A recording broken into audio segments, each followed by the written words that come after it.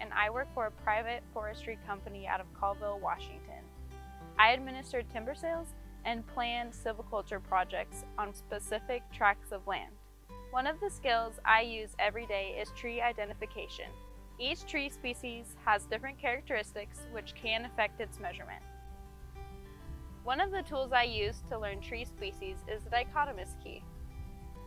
The key uses a series of yes-no questions or true-false statements that are used to pinpoint the species you're viewing. The answer to the first question takes you to another question, further narrowing the options. Taxonomy is related to dichotomous keys because it's organized by common traits.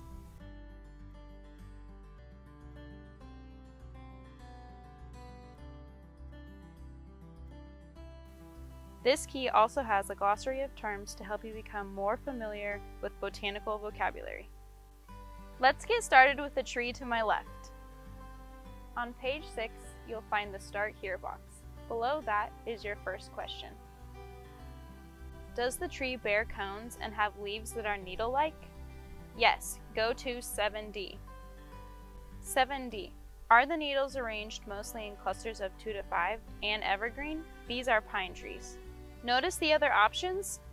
These needles are in clusters. Let's move to 8A. 8A. Are the needles mainly clustered in groups of 2 to 4, the cone scales thick and often prickly? Or, are the needles mainly clustered in groups of 5, the cone scales usually without prickles? We can see that these needles are in groups of 3. Let's move to 8B. 8B. Are the needles generally less than 2 inches long and in groups of 1 to 4, the cones 1 to 2 inches long with few scales, the edible seeds large and without wings, these are pinyon pines. Or, are the needles generally more than 2 inches long and in groups of 2 to 3, the cones longer than 2 inches long with many scales, the seed size varies? The needles are more than 2 inches long and in groups of 2 to 3. Let's move to 10A. 10A.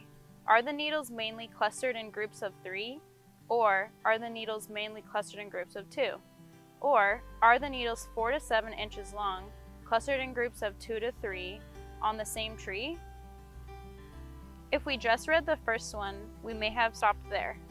But we can see that description 3 better describes our tree. 11a, Ponderosa pine.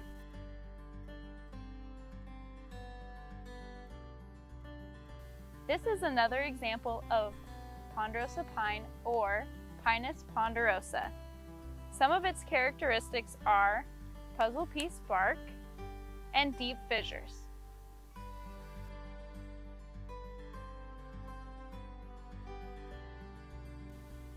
Now it's your turn. Read the three descriptions and see which one best fits your leaf. If you chose 7A, you're on the right track. Read those descriptions. Which one is it?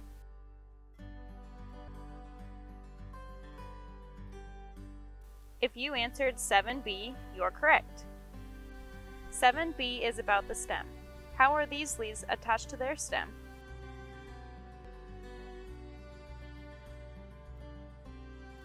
If you answered 40B, you're correct. Read the descriptions and see which one best fits your leaf. Since the leaves are not fan-shaped, go to 40C. The next box describes lobes. Lobes are when a leaf edge goes in and out. Examples are oak and maple. Does this leaf have lobes?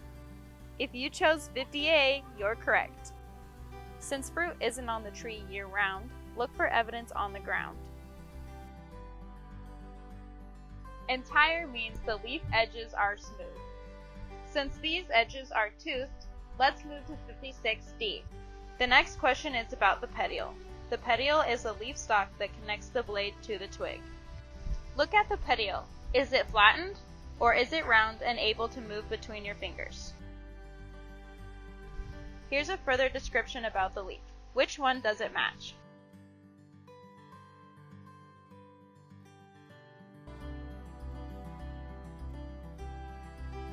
You said 59A Quaking Aspen, congratulations.